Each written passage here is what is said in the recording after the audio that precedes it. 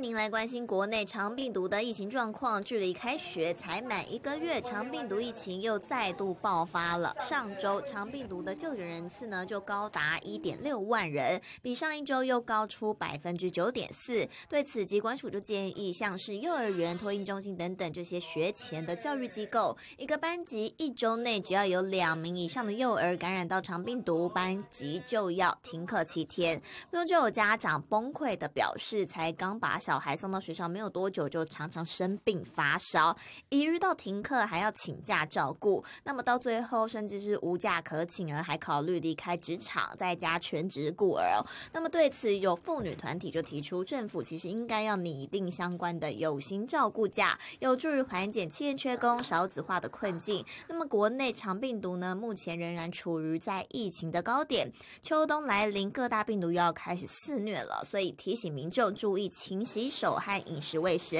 也要尽早施打疫苗，增加自身的抵抗力。